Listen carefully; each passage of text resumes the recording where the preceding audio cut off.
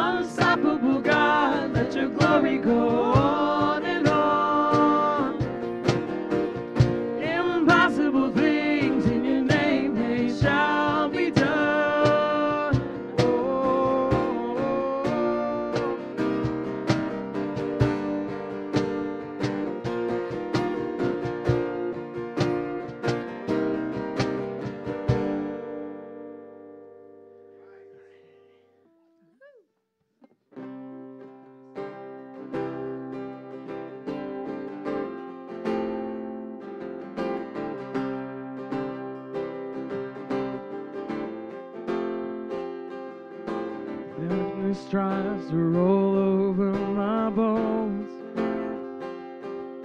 The sorrow comes to steal the joy I own. Brokenness and pain is all I know.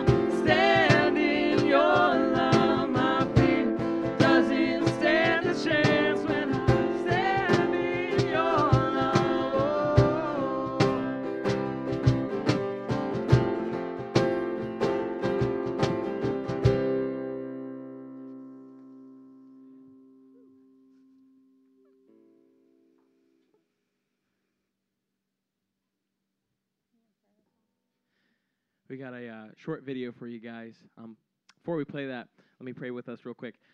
Uh, Father God, thank you for allowing us to be able to live in a place where we can have a, a, a place to worship online and, uh, and, live in a day and era where we can do things like this.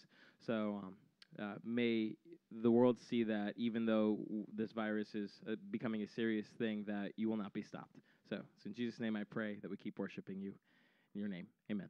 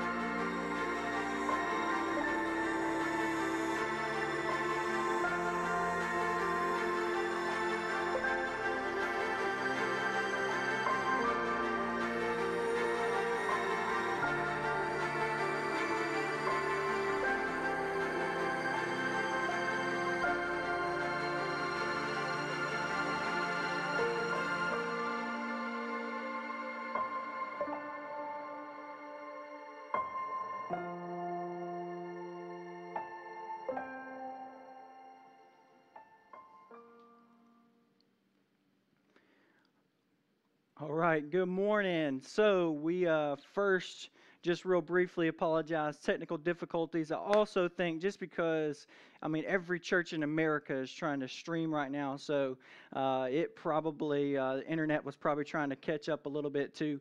But the great thing is we are here, we are live now, and here's the awesome thing is we have some like you probably already know this, but we have some of the most incredible volunteers on the planet. I mean, we got people uh, been working all this week, had a week's notice to get us live and be able to us be able to see CG and everything else that we can see now today, uh, to have live comments. That was important to us, uh, just to be live to where we could interact with you and it feel a little bit of normalcy during this unstable time. But how incredible is it? I, I was just listening to this worship service and just hearing them uh, worship right here in this little studio that we made in, in a week's time. But it just reminded me that the gospel and worship cannot be stopped. It, they, they may shut down where we can't meet in a particular building, but right now we can still worship. We can still gather. We can still proclaim His word. And so today, I hope it encourages you, it builds you up, maybe challenges us, but it's just incredible to be together. So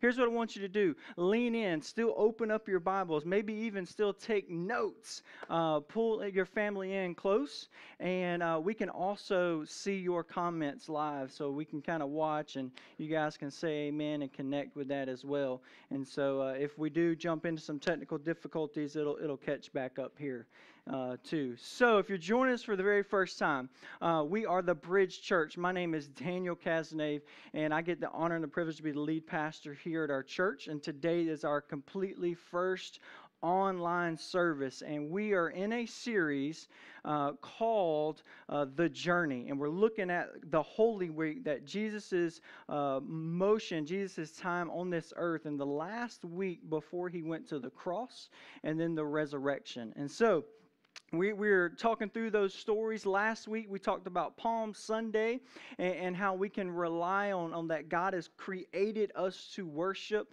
and that we get to stand on that promise that we always get to worship on what God has called us to. And so, um, I want to stop and I just want to pray for us here during this time. And then we're going to jump right in. We're going to be in Matthew chapter 21, Matthew chapter 21, verses 12 through 22 uh, 12 through 22, if you see that there. So let's pray together. Dear Heavenly Father, we love you. We thank you so much for your word, for your truth, and uh, we thank you that we get to worship with you this morning.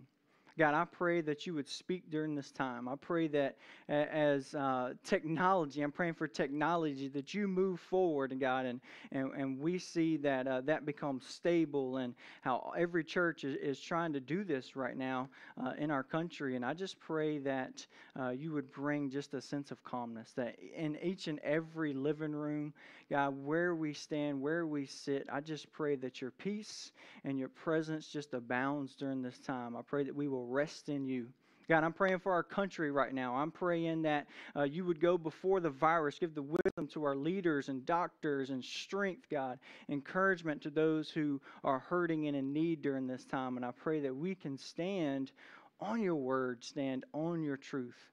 And we ask all this in Jesus' name we pray. And everybody said, Amen. Amen. There we go. And so I thought about the time that we're in and it's okay with you guys. I'm going to walk around a little bit, just like we're on Sunday morning, okay? So I want you to, to keep up with me. But uh, I thought about the time that we're in, and it's, it's so easy, especially now in our social media. I, I found myself many times this week opening up all my different news apps and news articles, and it's like I go down this rabbit hole of information. And then if I let it go too far and I let my mind be consumed with it, it's easy for me to almost almost sway and lose focus and lose my peace. I don't know if you felt like that, uh, but for me, just the anxiety and fear can creep in of where we are. And so for me, I, I, can experience that this week, and it's so easy to do that. And I think now more than ever, it's so easy for us to, to lose that focus, to lose that, okay, where is my strength? Where is my hope? Where is my peace. And I thought it's no mistake that God placed this piece of scripture on my mind, this piece of scripture on our heart, because we're looking at Jesus and his road to the cross. And we talked about Sunday, Palm Sunday, as I mentioned earlier. And today we're going to be looking at the later part of Monday and then also the early part of Tuesday morning. And Jesus does some pretty radical, some crazy things uh, to help us refocus, to help the church during that time refocus and his disciples refocus on the main purpose.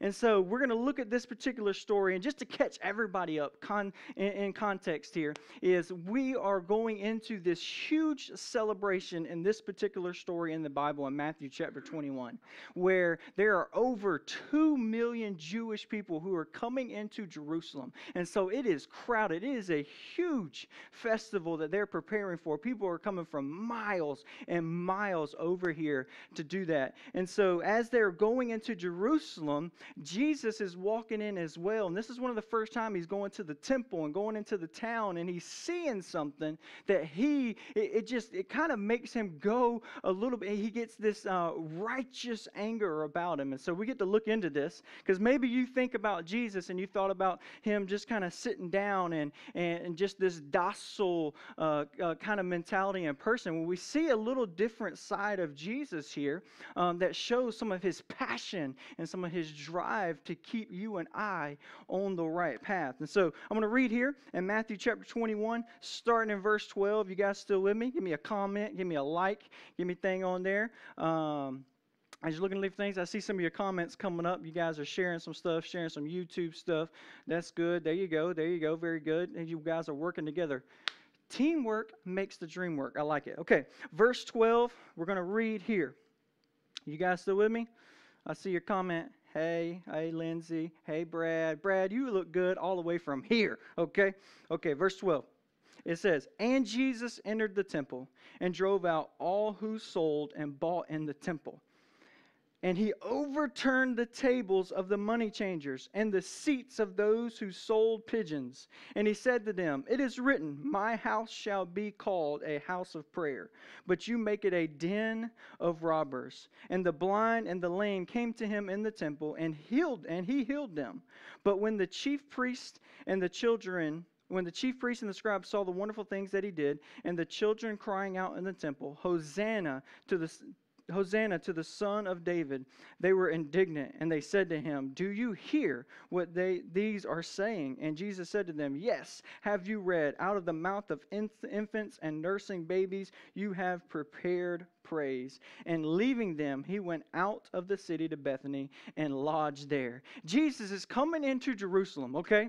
And he gets to the temple. And people are coming here in this, this particular day and age. They would have to bring a, they were having, having to bring their sacrifice uh, to the temple to pay, to atone for their sin over the, the past year. And so they would have to purchase the animal that they were going to bring, okay? And so all of these people were coming coming in, and the, the local temple and the people who were around it, they were doing a few different things here. One is they saw an opportunity. They had like this mindset of, okay, hey, there's an opportunity here to make a lot of money. And so they would charge almost double what the normal price would be for this particular animal, for this particular sacrifice, because people were traveling for miles and days, some even weeks and months to get here.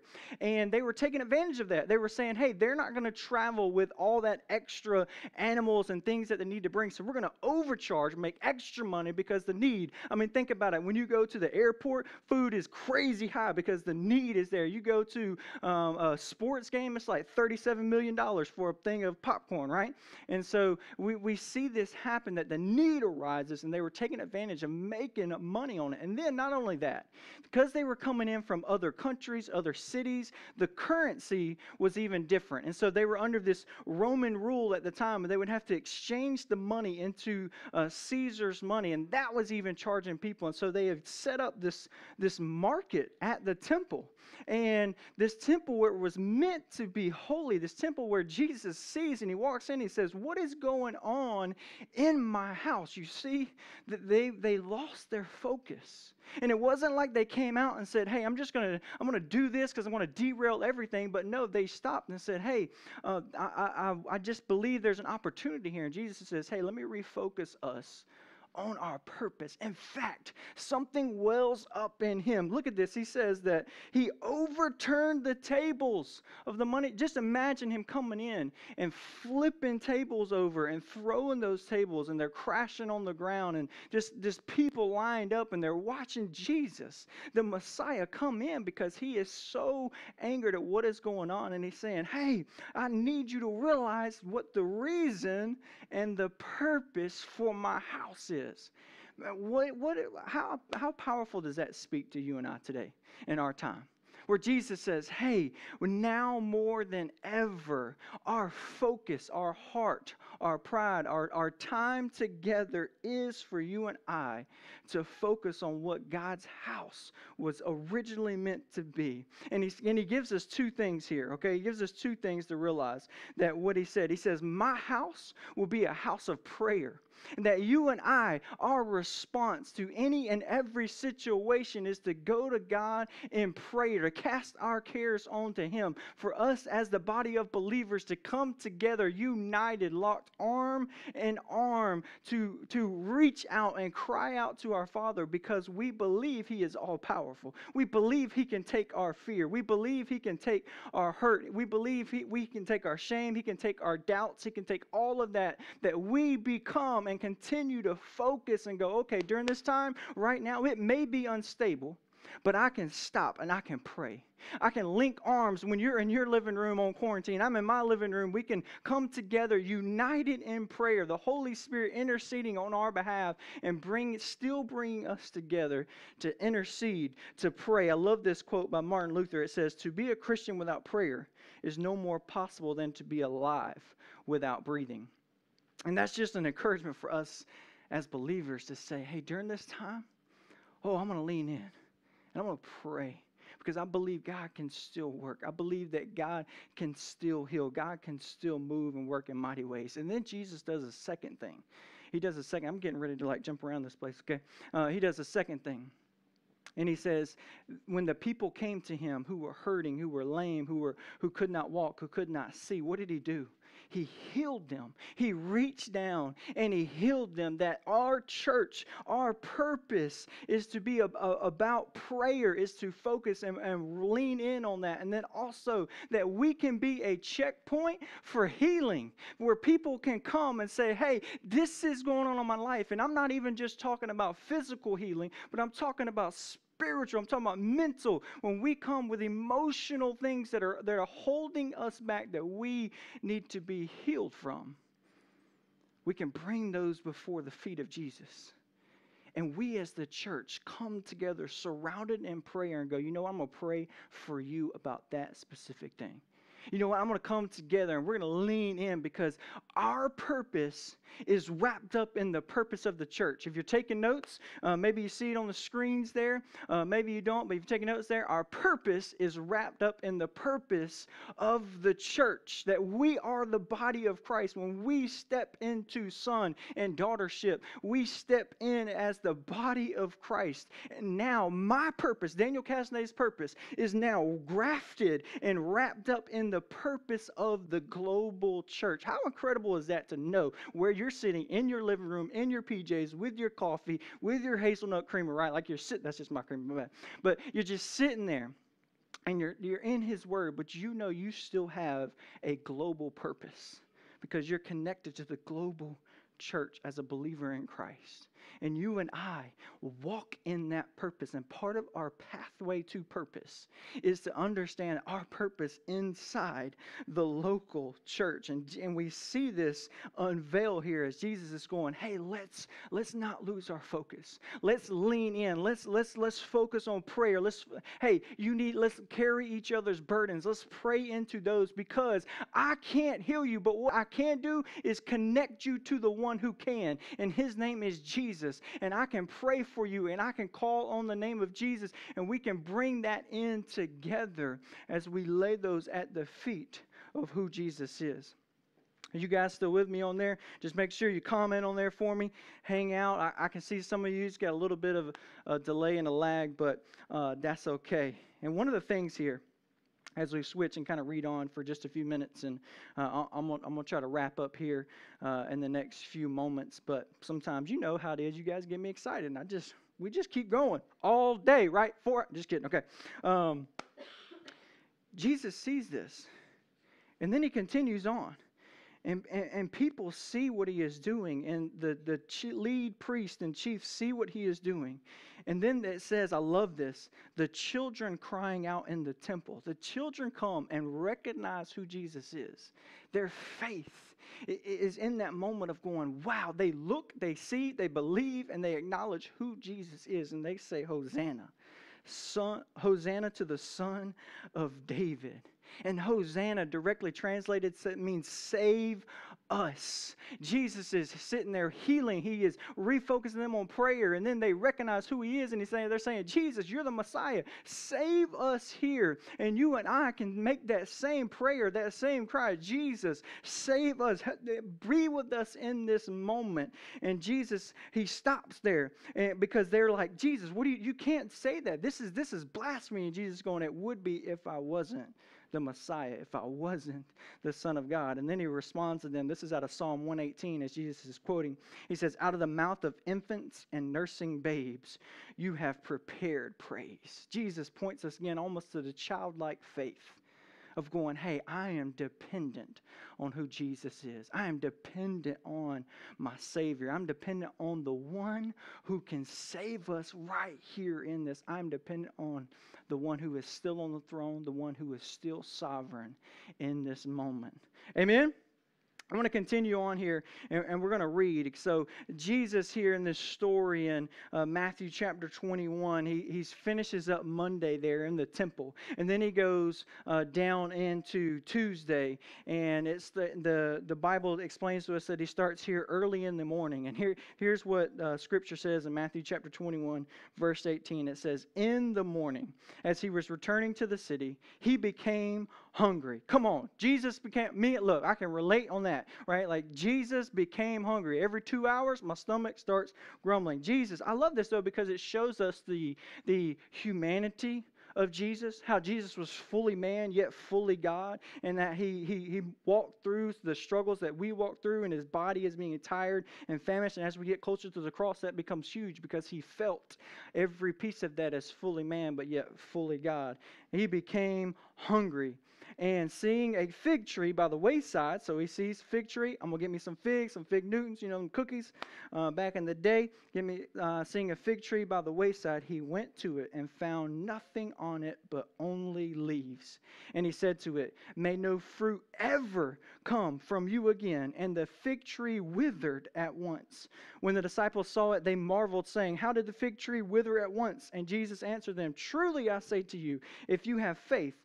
And do not doubt, you will not only do what has been done to the fig tree, but even if you say to this mountain, Be taken up and thrown into the sea, it will happen. And whatever you ask in prayer, you will receive if you have faith. Jesus comes up to this fig tree and he's a little bit hangry okay? Like he last night he was flipping tables. This morning he comes he's hungry he sees the fig tree. The fig tree does not give him food does not produce fruit right? And he gets upset and he speaks into the tree and says you will never produce fruit. And in that moment it withers and dies and the disciples see this and go what just happened right like how did this even come about and jesus shows this and many times in the old testament the fig tree was a representation of jerusalem and many times they would use the fig tree as a representation of, of Jerusalem. And Jesus is saying, hey, the purpose of this fig tree is to what? To produce figs, right? To produce that fruit, to, to grow up, grow its roots strong, grow up tall, its branches go out so that the figs can be grown out of that and produce fruit. And the purpose of this tree was not fulfilled. And Jesus is going, then why are you even here? And he points back even to Jerusalem. And he's using this as a picture of going, hey, Jerusalem is not fulfilling its purpose. They're not realizing that I am the Messiah who has come to fulfill the law. And he, and he gives us this direction of going, hey, part of our purpose as living as the church is allowing God to bear fruit inside of our lives. And so you may be sitting here wondering if it's that big to where Jesus speaks to this tree and says, Hey, you, you're going to wither up. You're not going to be anymore. If it's that big, that important, how do we bear fruit? But Jesus is so good and Scripture is so powerful, okay? Because in John 15, um, Jesus uses this same imagery, okay? So I want to read this for you and then we're going to kind of talk it down and then we're going to close. You guys still with me? Give me a little comment in there, a little like, a little heart, a little thing right there. Brad, I saw your comment about your dog. He's awesome awesome. Okay. John 15. Abide in me. This, this, this scripture right here is so powerful. Abide in me, and I in you. As the branch cannot bear fruit by itself unless it abides in the vine, neither can you unless you abide in me. This is Jesus talking. I am the vine, and you are the branches. Whoever abides in me and I in him, it is that it is he it is that bears much fruit, for apart from me you can do nothing. If anyone does not abide in me, he is thrown away like a branch and withers. He just shows us this, right, in the fig tree. And he uses the imagery again. And then he goes on and says, And the branches are gathered and thrown into the fire and burned. Verse 7 If you abide in me, and my words abide in you, ask. Here he says it again. He closes Matthew, the part about the fig tree, in verse 22, and then he closes uh, this little section in verse 7, and he says, Hey, if you abide in me and my words abide in you, ask whatever you wish, and it will be done for you. If you're taking notes here, bearing fruit starts in our intimate relationship with God. If maybe we're looking at our life and we're thinking, Oh my goodness, hey, as I'm looking and thinking and going, How do I stay connected to God to where I can live in in my purpose and I actually see the fruit of God in my life as we read uh, that the Holy Spirit produces fruit in us love, joy, peace, patience, gentleness, self faithfulness. We see these things. And I believe that even during this time, we as the church get to stand and that be the fruit of our lives, even in times like this, that bearing fruit. But he gives us a prerequisite here, right? He says, If you abide, in me and my words abide in you. He says, Hey, if you want to see the fruit of God, of walking in God's will in your life, then realize it starts with abiding in me. And let me tell you how that is good news. It is so good because you and I can get focused. Uh, my, I remember my son, he's eight years old, and he came downstairs two days ago and he said, Hey, uh, he may be listening. Lucas, I love you. Okay. Uh, he came downstairs and he said, Dad, today I'm going to do good. I'm going to do good. And I, and I thought about it for a second, and, and so many times I think you and I do that. We come up to God and go, okay, this week I'm going to do God. I'm going to do good. I'm going to check it off the list. I'm going I'm to try hard. I'm going to be there. I'm going to work. It's going to happen. I'm going to will this thing into existence. Jesus goes, hey, hey, hey, what I want you to focus on is abiding in me. And when you abide in me and you yield and surrender to my will, I will produce the fruit in you because it's not you producing it, but it's the will of the Father and the Holy Spirit dwelling in us that produces that fruit in us. And it's instead of you and I going, I'm going to work, I'm going to pray this specific prayer, I'm going to do this, I'm going to walk this, and God is going, to hang on. Abide in me. Rest in me. Focus on me. And I, I love here, he's so specific, and he says, uh, if you abide in me and my words, my message, my truth abides in you. If you abide in me and my words, he's saying, let's get even more specific. When scripture abides in our hearts, it's what produces, and the Holy Spirit manifests that inside of our lives and inside of our hearts. And so, another one here the evidence of relationship is in the fruit. And how we know, hey, if I don't see that, I need to go back to my connection. God, I feel this fear. I feel this anxiety. I feel this hurt, this doubt. God, I need to get back to you. I need to get back closer. I need to get connected back to the vine because my purpose flows from you, God. And I need to get back to what you are doing so that I can rest in you. And while I'm doing that, I can rest in what you have called us to do. And we as the church get to stand on that because I'm getting ready to close here. Uh, but this is what I want you to see, and this is what we, you and I get to stand on.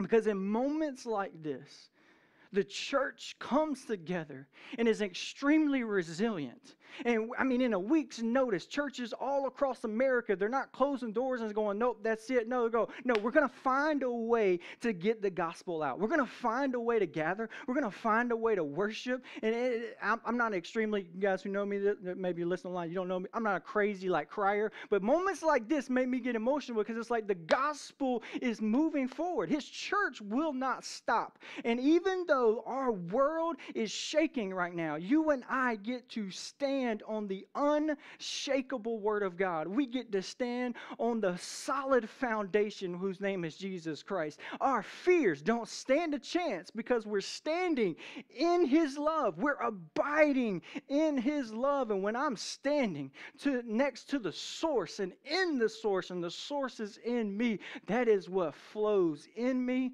through me, through my mind, through my heart, and I get to dwell in my purpose to walk in His will. And you and I, we have this uh, unique opportunity right now to bear the fruit of Christ. And people look at your life and go, You have joy. And it's okay to be honest and say, Yeah, I'm scared, I'm, I'm anxious, I'm worried, but here's what I did I got back to Jesus. Or here's what I did. I got back in his word, and then the world sees sees this this fruit bearing in your life, and they go, Hey, I, need that in my life. I, I, where are you getting this? It's like you are unshakable. It's like you, every time you get flustered, you're, you're able to go back to a source and get filled back up. And that's our opportunity to say, My source, my hope, my rest is in Jesus. And so I want to end today, and this is what I want to do, and the band's going to come back up here in just a minute. We're going to sing together. But I, this is huge because God's word says, if you abide in me, and you may be sitting in your living room, you may be, you may be worried, scared, anxious, doubtful, and you've never given your life to Jesus. And the only way to experience this is, is to realize that my life is lost without Jesus. He is the way, the truth, and the life. And the only way to get to the Father is through Him. And we realize that, hey, in this season, that what I thought I could cling on to, I can't. I must cling on to Jesus. And maybe you've never given your life to Jesus before. And so I want to pray a prayer with you right where you are. You could be in your living room, in the hallway, on the stairwell, wherever you are, listening on your phone, the computer, the uh, TV, whatever it looks like. I want you to, to pray this prayer. And there's no, there's no, um, there, and this prayer doesn't doesn't unlock something, but it's you going before your Father. And, and, accepting the free gift of grace that He has already placed on the table by dying on the cross and resurrecting again. And so, you and I, as we lean into that, I want you to believe that. I, my, my, heart, my passion, my desire is for you to say, you know what? I, I'm, I'm lost without Jesus. And I'm realizing it for the first time. I'm, I'm living in sin and it's taken over my life, and now I'm ready to give my life to Jesus. And if you believe, God's word says, if you believe that He died on the cross, just like they were bringing these pigeons and these sacrifices in to, uh, to uh, pay for their sins, Jesus saying, hey, I was the perfect sacrifice to pay for the sins of humanity, past, present, and future. My, my perfect sacrifice was enough. You don't have to continue. You rest and are healed through the blood of Jesus Christ. And so let's pray this prayer together. And it goes something like this Dear Heavenly Father, God, I know that I'm disconnected from you. God, I, sin is in my life, Jesus, and I'm giving my life to you. God, I ask that you save me, change me. God, I pray that you help give me direction and wisdom during this time. God, help me to rest in who you are. In Jesus' name, amen. If you prayed that prayer today, we're going to post in the comments. We posted it earlier in there. You can also go to our website that's linked there, and there's an online connect card. Well, I want you to click on that connect card and I want you to go through there because no matter where you are, we want to at least pray with you, connect you to resources. If you're local here in the low country in Bluffton, South Carolina, we believe that we were created to walk in community and we want to help you walk in that community, help you take those next steps. And so fill that card out. Even though we're, we're separated right now, um, we can find a way to connect with you through that time. And so uh, click on that connect card and fill that out. And uh, also, if you're you're hanging out in the house, I want to give you. We'll post these on our live feed as well, uh, in the comments. But uh, I just want to give you a couple questions.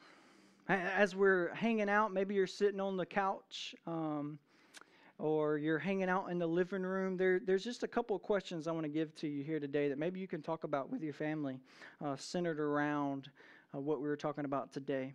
But the first one is, how can you, you and your family, if that is relevant to you, how can you and your family facilitate time to connect with God this week? How can you get close to the vine? How can we come together during this? And two, um, are there areas in your life where you find it hard to live out God's will? Where are there areas in your life when you say, "Hey, I, I know I'm I'm walking in Jesus, but when I go to work, it, it is extremely hard." Or when I when I do this, or when this happens in life, this is uh, something that almost holds me back, and it's a chance for you to, to bring that before God. And maybe even talk about it with your spouse or with your family, or we connect online or through the phone, and we just say, hey, what are, what are some next steps to help allow that to happen? And the last one here what is one faith step you can take this week to live in God's will? What is a faith step for you? What does it look like? And it says, hey, I want to bring that before God. And so as we lean in together, and that last verse, I'm, we're going to pray. I'm going to pray a particular scripture over us this morning. And both, when Jesus talks about the fig tree and in John 15, he he ends up both of those um, topics and he says, Whatever you ask for in prayer, you will receive if you have faith. And he ends it here in verse 7. It says, Ask whatever you wish, and it will be done for you. But he starts it first by saying, Hey, you must be connected to me. Because now, if I'm abiding in Christ, I'm praying in God's will. And I'm leaning in and going, God, I'm believing that you can do this on our earth, in our country, in my house, in my life. God, I'm believing in that because I'm connected to you.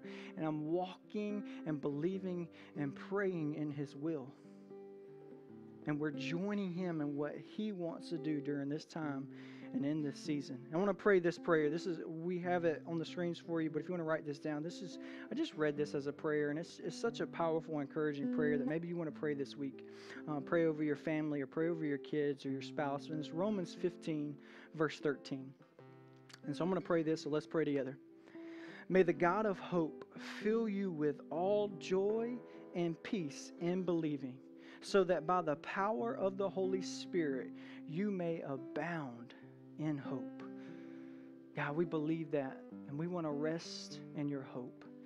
God, I pray that we use this time that's a little different and we use it to stay connected to you, to stay connected to the, the true vine, which is you, Jesus. We love you. We ask all this in Jesus' name we pray. Amen. We're going to continue to worship together.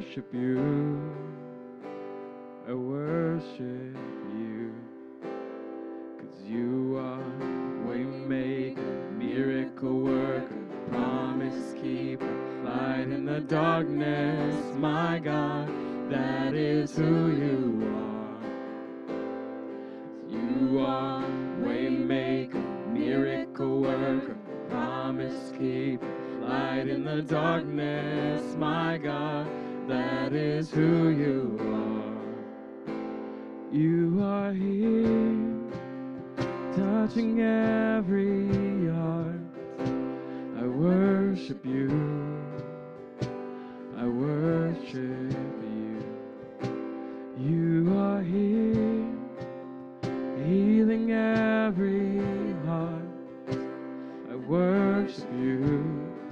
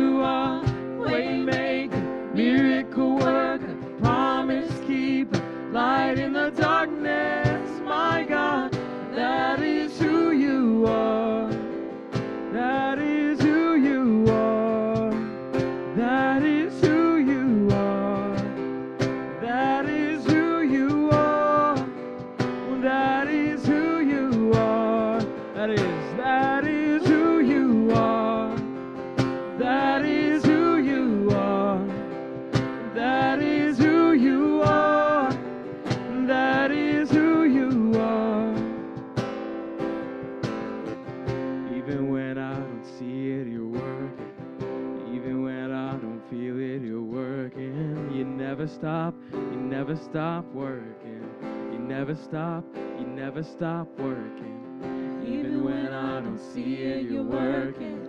Even when I don't feel it, you're working. You never stop, you never stop working. You never stop, you never stop working. Even when I don't see it, you're working. Even when I don't feel it, you're working. You never stop, you never stop working. You never stop, you never stop working.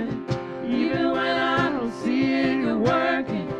Even when I don't feel it, you're working. You never stop, you never stop working. You never stop, you never stop, cause you are waymaker, miracle worker, promise keeper, light in the darkness.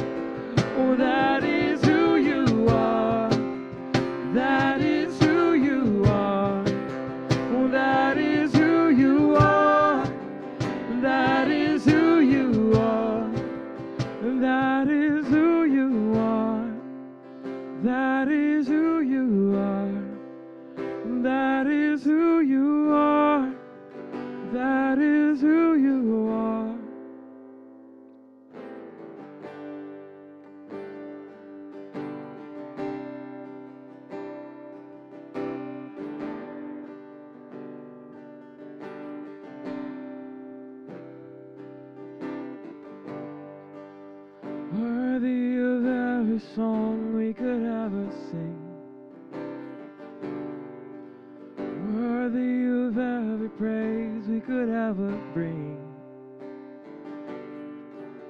Worthy of every breath we could ever breathe. We live for you.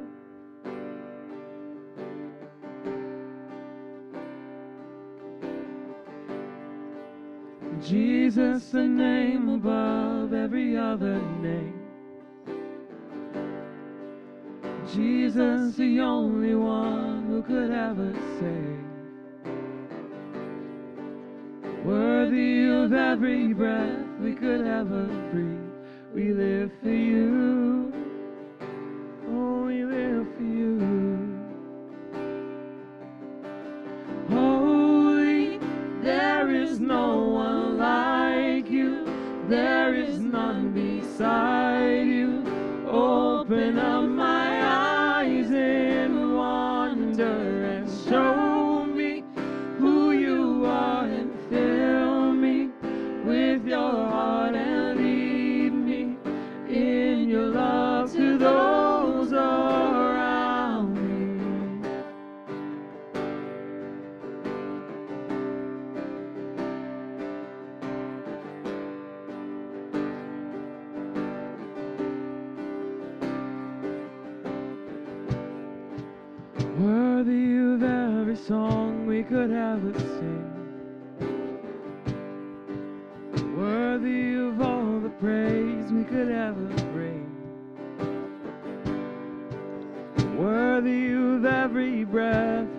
ever breathe. We live for you.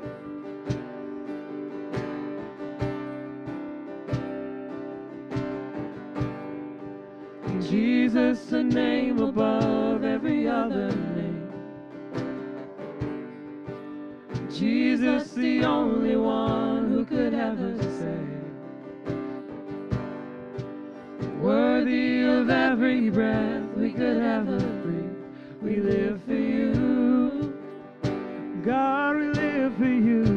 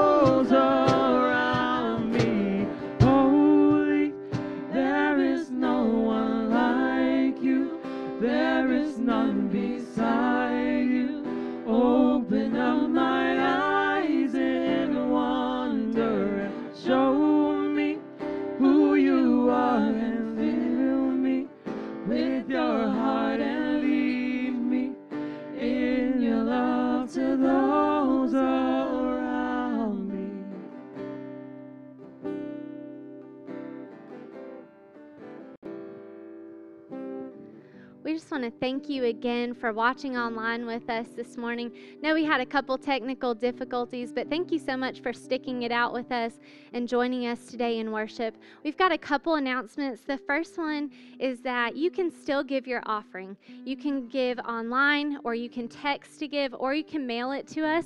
The address is on your screen. So feel free to still give. We um, just want to encourage you to do that. The next thing is that if you are joining us today, maybe it's your first time joining us, or maybe you're not a part of the bridge yet, but you want to get more information about what we're doing and who we are, we want to encourage you to fill out the Connect card. The link is in the comments. We've posted it a couple times. Or if you're watching from YouTube, it's at the top of the page.